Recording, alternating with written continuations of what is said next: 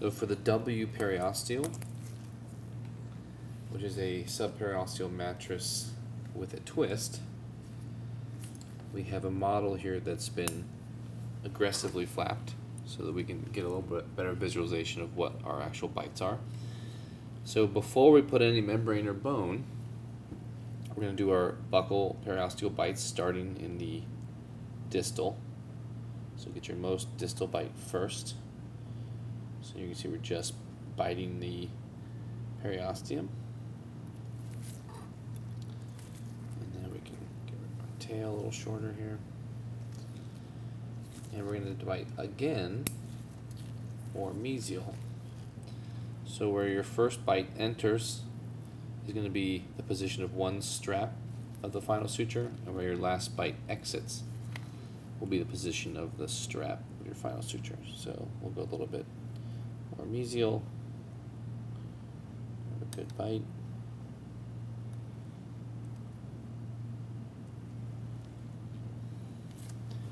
And we're going to leave, intentionally leave a loop between the two.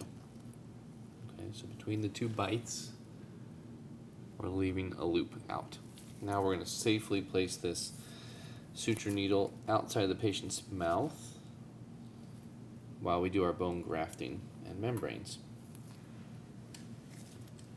So we have our membrane here. So we'll go ahead and place our membrane wherever we're going to be doing our bone grafting, GBR, whatever.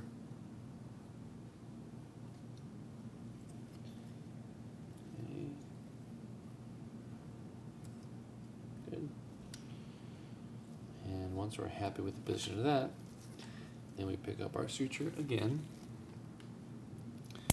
and we exit across from the last bite out the lingual. And this is kind of the mattress portion.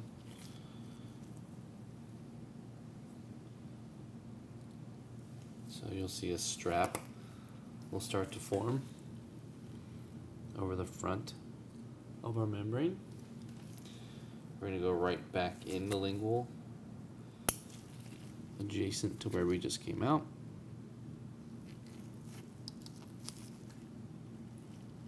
You could also do simple periosteal bites, though it is difficult on the lingual mandible.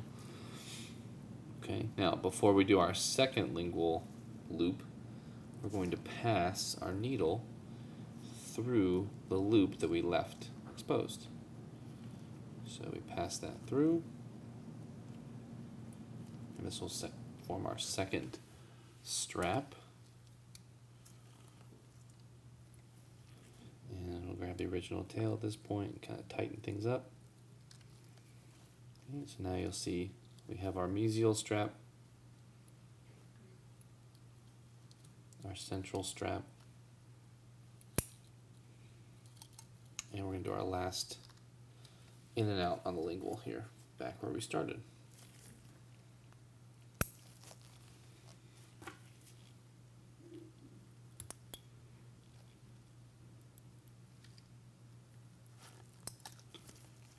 So out the flap on the lingual. And back in.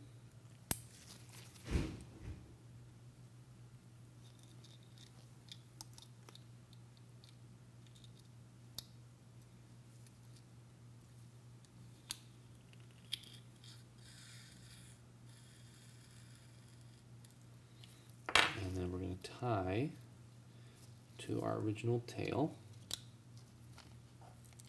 from our first bite.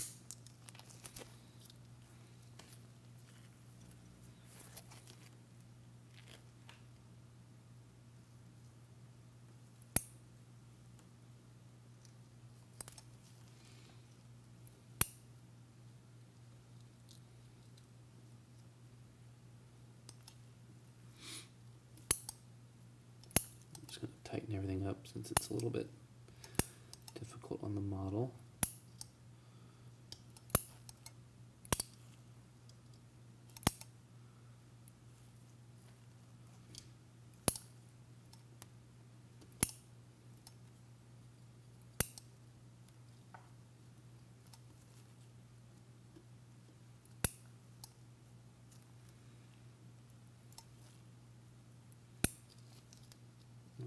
And this knot will also be thrown under the flap.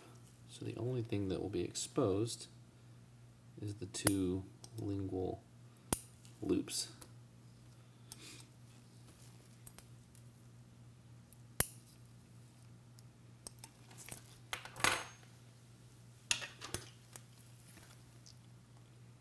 So we'll cut our tail now. I think my membrane moved a little, but if it was still underneath here,